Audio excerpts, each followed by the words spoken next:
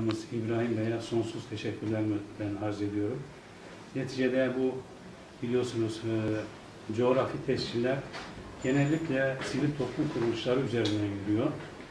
E, burada belki bizim il ve ilçe müdürlüğümüzün, kaymakamlığımızın ufak tefek katkıları, yardımları olmuştur ama esas aslan payı burada kesinlikle ve kesinlikle kooperatifimize aittir. Kendilerine e, sonsuz bir şekilde teş- kendilerine teşekkür ediyorum.